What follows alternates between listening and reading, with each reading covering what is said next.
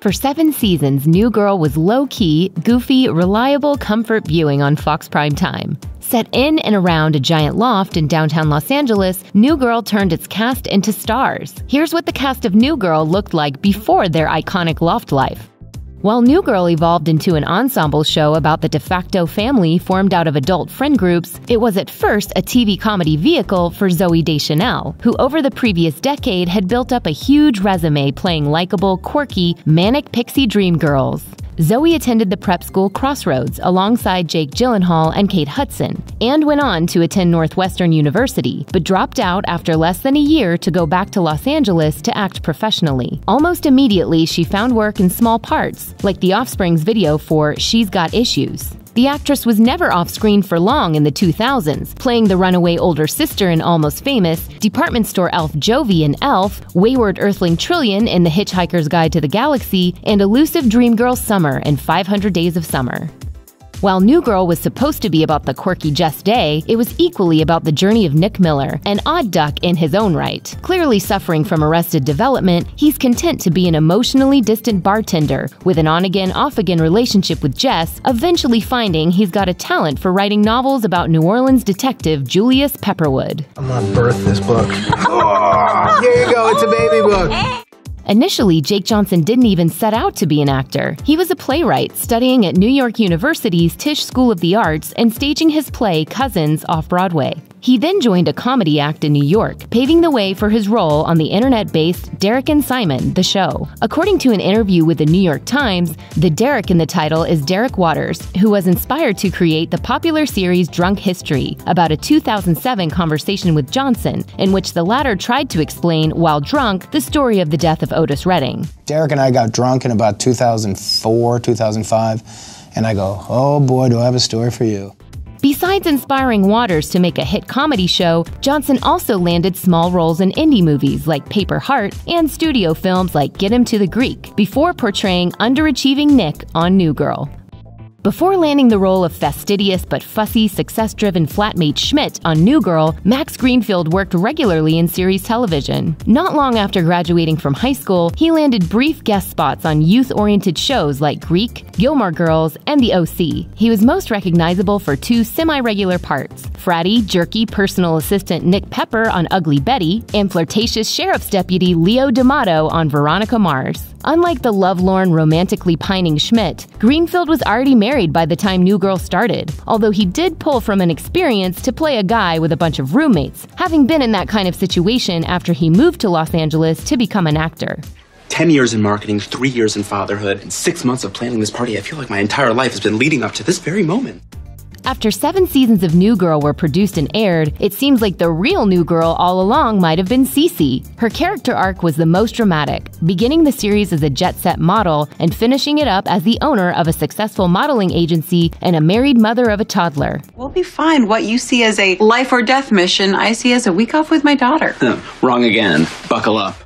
As it turns out, actress Hannah Simone understands the plight of the model, having done that as an occupation long before she moved into acting. According to an interview with the actress by Redbook, Simone was raised in Europe, where she was showing others how to look good in clothing professionally at a young age. Her family then moved to Canada, where she earned degrees from the University of British Columbia and from Ryerson University in Toronto. Simone then moved to London, where she began volunteering at the United Nations. Eventually, the actress propelled herself into the entertainment industry, appearing as a newsreader and VJ on MuchMusic, the Canadian equivalent of MTV, and WCG Ultimate Gamer on Sci Fi.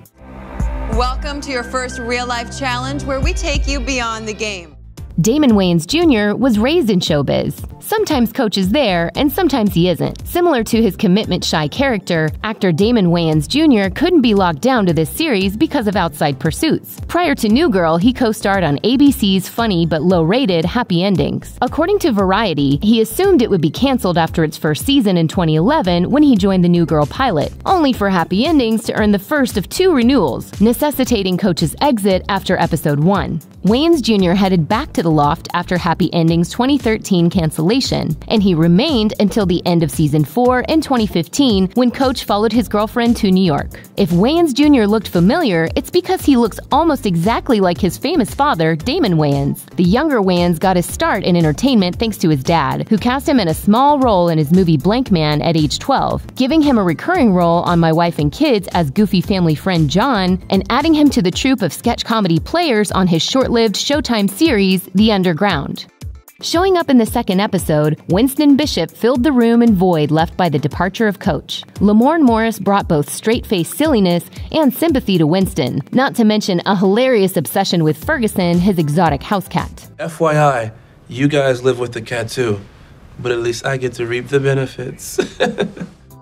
Morris didn't have a ton of acting experience before landing a major role on a network sitcom. Apart from bit parts in episodes of shows like The Guild and appearing in a handful of movies and short films, Morris was best known for his work as a TV host. In the years preceding New Girl, Morris was a consistent presence on the BET channel and hosted the Cartoon Network game show Brain Rush.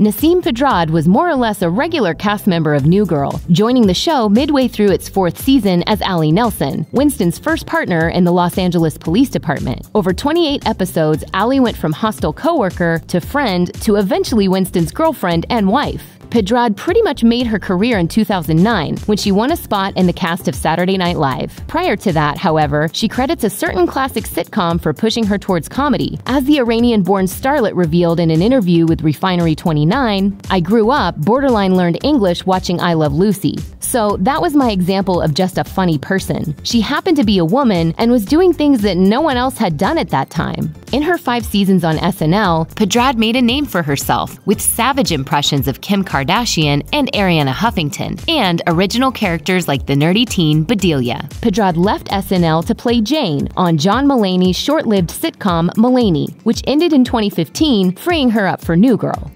In the grand tradition of sitcom stunt casting of characters' parents with famous people, New Girl producers brought in veteran TV star, writer, and director Rob Reiner to portray Jess's jubilant cheerleader of a father, Bob Day. I better get a phone call tonight with the news that my daughter has a fiance. I don't even care if it's not you.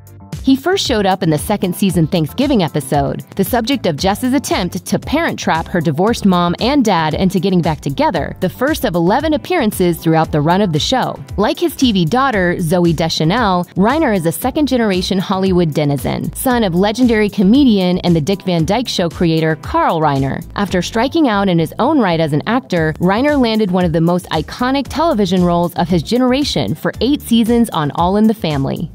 The other fictional contributor of Jess Day's DNA is Joan Day, who appeared in six episodes across the run of New Girl. Like Rob Reiner, Jamie Lee Curtis is also a very recognizable second generation Hollywood veteran with many successful and distinct career periods. She's the daughter of matinee idol Tony Curtis, star of Spartacus, Some Like It Hot, and The Defiant Ones, and his first wife, Janet Leigh, who will forever be best known for her role as Marion Crane in Psycho. Jamie Lee followed in her mother's footsteps as a scream queen, portraying the seemingly unstoppable Laurie Strode in the Halloween franchise. After a couple more scary flicks like The Fog and Prom Night, Curtis moved into comedy, becoming one of the most reliable and frequently working actresses in the 80s and 90s. Check out one of our newest videos right here. Plus, even more Nicki Swift videos about your favorite shows are coming soon. Subscribe to our YouTube channel and hit the bell so you don't miss a single one.